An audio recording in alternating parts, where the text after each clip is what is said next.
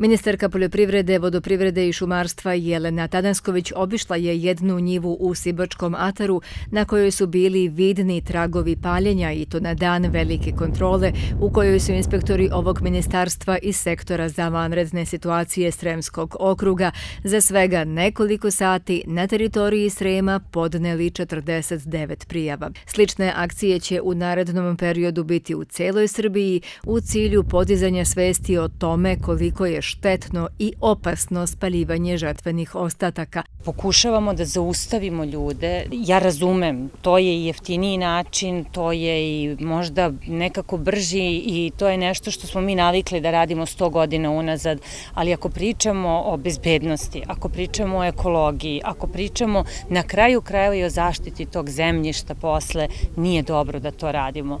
Već dve godine se sprovode akcije Ne palite strnjiku, ali čini se kao da nisu dale efekta.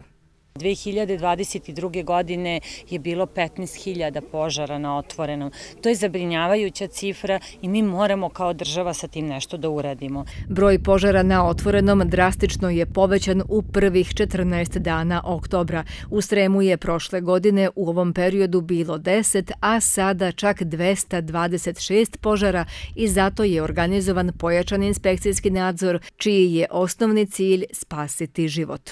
Mi smo danas u 11.33 u Rači recimo imali slučaj da je e, lice zapalilo e, biljne ostatke, požar se proširio na senik, ono je pokušalo, sa teškim povredama je prebačeno, to se danas desilo, u bolnicu, brzom intervencijom otrogasno spasilačke brigade Kragujevac spase na moj kuće. Mogu je dakle da izgubi i kuću i svoj život. Paljenje na otvorenom je zakonom kažnjivo. Mi smo danas zaticali ljude sa evidentnim prosto i dokazima i sa benzinom i je, izdati su im prekršajni nalozi, a ako upalite u blizini autoputa pa se razvije dim, dođe do neke tragedije, to već nije prekršaj, to je krivično da.